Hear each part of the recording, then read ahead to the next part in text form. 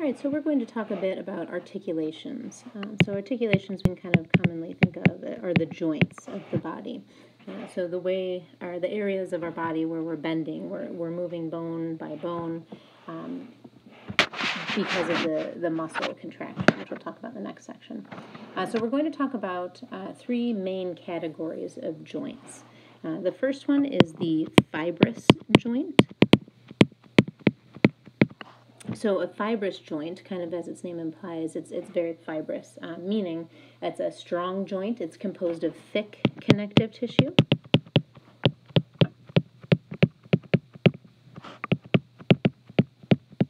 So it's, it's filled with thick connective tissue, and one of the main um, things about these types of joints is that they're not very movable.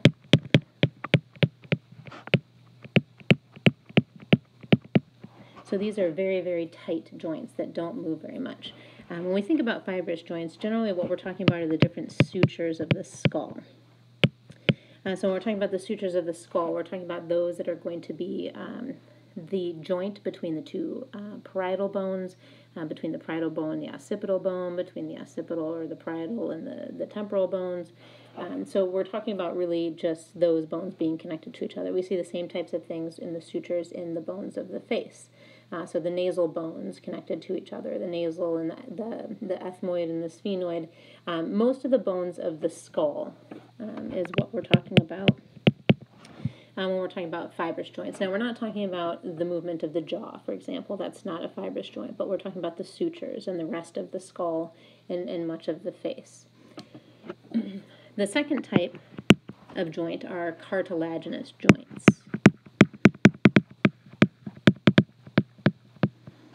So our cartilaginous joints, as its name implies, is composed of cartilage.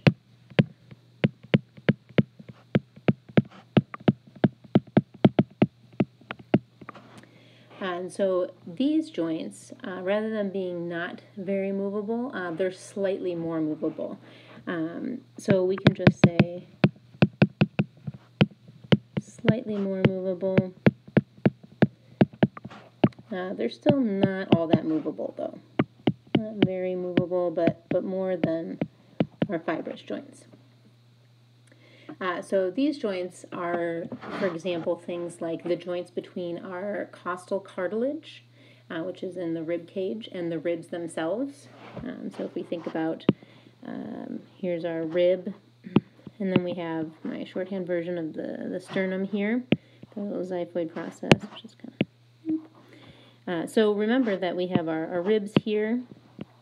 Our ribs are coming around here, uh, shorthand here. And then we have cartilage that's connecting the ribs uh, to the sternum. So that is one location of some cartilaginous joints, um, are those that are connecting the ribs to the sternum. Um, also between the costal cartilage or the costal cartilage and the ribs themselves. So um, those are two areas where we have cartilaginous joints, so it's where we have cartilage connecting two bones, for example. Um, we also see that in the vertebral column. So we have the cartilage between the different vertebrae. So if you think about the bodies of the vertebrae, uh, then we've got this kind of cartilage between the vertebrae here, and then we have another vertebrae, and then we've got the cartilage between the vertebrae and another vertebrae here.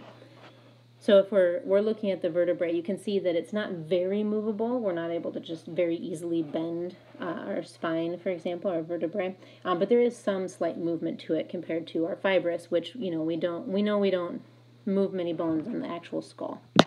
Uh, the third type of articulation, the third type of joint, are synovial joints. Now, synovial joints are those that we think of most often when we think of joints, and these are the most movable. Uh, so these contain a joint capsule. Uh, with fluid in it. Um, and then we also have the ends of the bones are coated, coated with cartilage.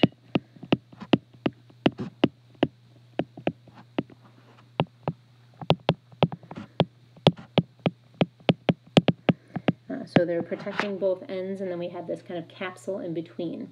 Uh, it's often These are often supported by ligaments.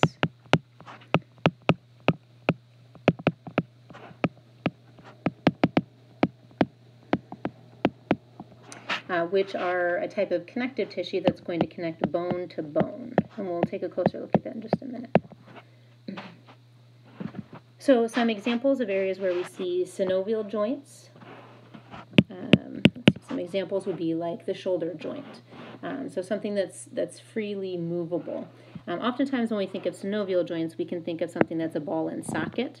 Uh, so we have kind of the ball, and then we have the socket, whatever type of bone this is. I'm just drawing for example. Um, we have this kind of capsule in the in-between area here. We can have a ligament here connecting the bone and the bone. Um, and then this is able to kind of freely move around.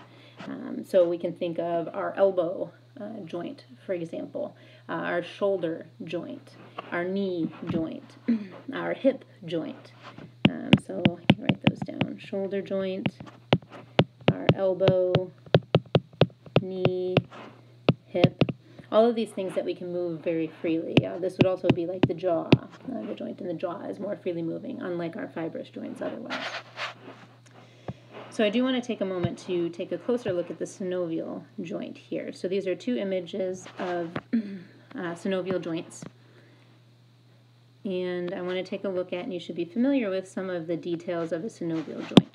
So some of the things that you need to be able to identify in a typical synovial joint, because this makes up the most uh, joints of the body are the bones, first of all, so you should be able to identify that there's a bone on the top and a bone on the bottom, depending on, you know, top and bottom, of course, are relative, but uh, in these illustrations, there's a bone at the top and the bottom, so we have two bones that are interacting, which, of course, is what we're talking about when we talk about joints. We're, we're joining two bones, whether or not it's a fibrous joint, a cartilaginous joint, or a synovial joint, we're, we're connecting two bones in some way. Uh, so in the synovial joint, we have those two bones. In a synovial joint, we also have a synovial membrane, that's illustrated very well down here. Uh, so we have this membrane on the inside, and it's on the inside of the articular capsule here. Uh, so we have this kind of capsule, which is this whole area here. The articular capsule encompasses this, this whole area here. And then within it, we have the synovial membrane, which is the tissue, this actual membrane, membranous uh, tissue, this kind of layer of tissue that's going to um, be a part of kind of this fluid capsule area. Uh, so we have the actual capsule that's made up of tissue, and then within that, we have the synovial membrane, which is on either side here. And then that is continuing on. So we have the synovial membrane on what's in this illustration, the right side, and then on the left side. And those areas are um, working with the articular cartilage. So we have our synovial membrane, which then is connected to our articular cartilage, which is going to be on the ends of both bones. So that's going to protect both bones um, from wear over time. Uh, so we have the articular cartilage on the one bone, then we have the synovial membrane again, and then we have the articular cartilage on the other bone. And then within that, uh, we have our synovial fluid. Uh, so in here, we have all of the synovial fluid, and we can see a similar thing up here at the top.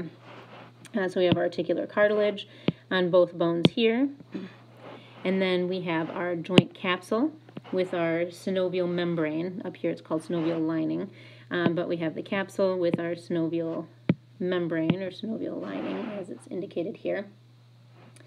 Um, so this whole area here is, is the, the joint cavity. So this whole cavity, this whole space. Um, we have the capsule and then the cavity is in the inside. And then the inside is where we have the articular capsule or uh, we have the uh, rather synovial membrane, the articular cartilage in here, and then we have the synovial fluid.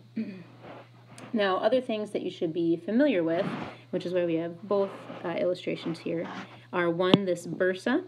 Uh, so I'm going to actually kind of erase this area here so we can see it better. And the bursa is in this top illustration, not on the bottom. So a bursa is this blue thing here and what this is, is it's kind of an additional layer of protection.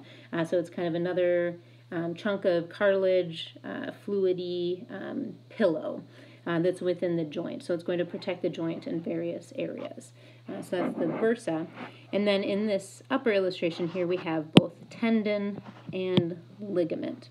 Uh, so I have already mentioned a ligament. Uh, remember I mentioned that ligaments are connective tissue that connect bone to bone. So whenever we say we have a ligament or maybe someone has a torn ligament, it is something that's connecting one bone to another bone. So that would be a ligament. So our connective tissue is very, very strong connective tissue holding things together. So uh, you can think, for example, this might be the knee joint here. And so we have these ligaments that are going from the upper portion of the leg to the bottom portion of the leg to try to make sure that we hold that together. And we use our legs very often. Um, so it's very strong and very important to have those ligaments intact. Uh, we also see over here on the left-hand side a tendon. And tendons are also connective tissue, also very strong. Tendons are connective tissue that connect muscle to bone.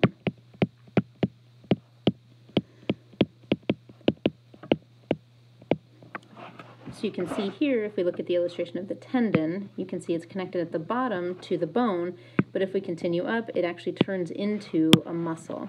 Um, and when we look at the um, structure of a muscle, uh, each individual kind of chunk of muscle fibers is wrapped in a connective tissue, and then we have chunks and chunks and chunks, uh, more and more and more of these connective tissue wrapped um, sections coming together that are then wrapped in a, another layer of connective tissue. And all of these connective tissue on connective tissue on connective tissue are all going to come together uh, toward the end of the muscle to form this tendon. And then that tendon is connected to uh, the bone, uh, the bone that's it's that the muscle is going to assist in moving. So that's just a quick um, lecture, quick summarization of some information about our actual joints, our articulation. So you should know the differences between the ligaments and the tendon, or the difference between a ligament and tendon and what makes them the same. They're similar. And then you should know the three different types of articulation. So the, the fibrous joint, the cartilaginous joint, and the synovial joint. And you should know those items that I indicated on the synovial joint specifically. And you should be able to give examples of these different types of joints.